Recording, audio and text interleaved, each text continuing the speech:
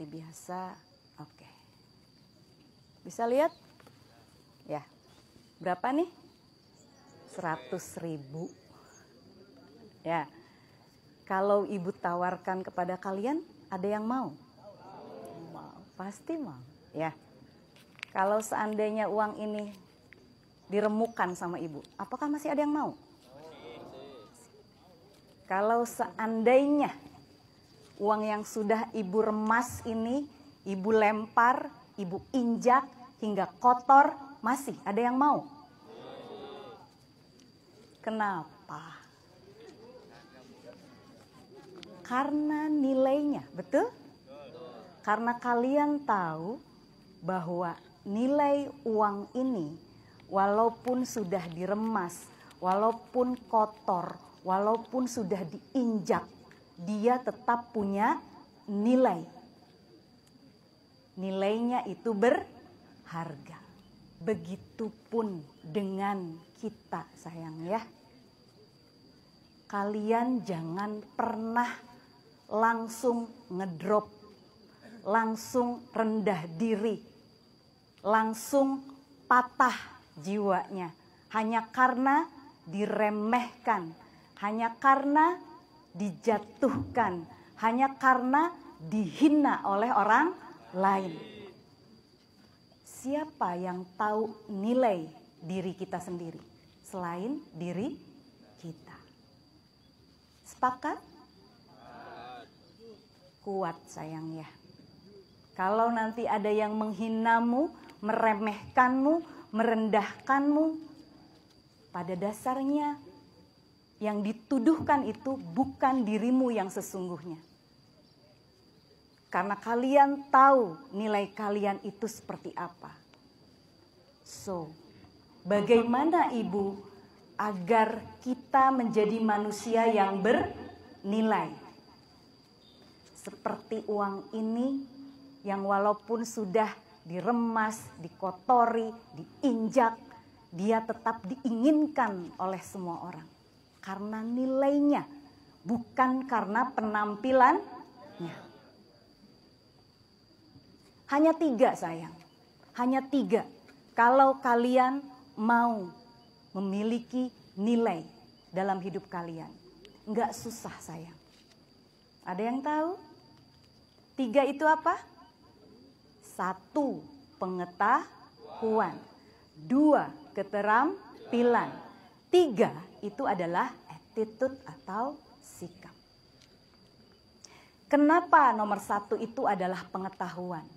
Karena dengan pengetahuanlah keterampilan, sikap, atau karakter kalian bisa dibentuk. Kalau kalian tahu, kalau kalian paham. Agar bisa punya pengetahuan yang maksimal, maka gunakan semua indera kalian. Bukan indera a indera ya. Penglihatanmu gunakan untuk membaca. Baik membaca buku, baik melihat sekeliling, baik melihat hal-hal yang bisa kalian amati, itu bisa masuk ke dalam diri kalian. Tentunya yang baik-baik. Gunakan indera penciumanmu dengan baik untuk mendapatkan pengalaman yang terbaik. Kan belajar itu tidak melulu hanya menggunakan indera penglihatan. Dicium, dihirup, disentuh, diraba, didengarkan, kita mendengar juga. Dikecap. Betul tidak? Ini makanan enak enggak rasanya? Dicicipi dong, ya kan? Nah, itu proses belajar. Makanya tadi dalam janji siswa juga ada kan belajar dengan bersungguh-sungguh. Jadi belajar itu tidak melulu harus yang namanya di dalam kelas. Nikmati semua yang panca indera kalian tangkap. Jadikan itu sebagai pelajaran. Jadikan itu sebagai wawasan. Jadikan itu sebagai pengetahuan.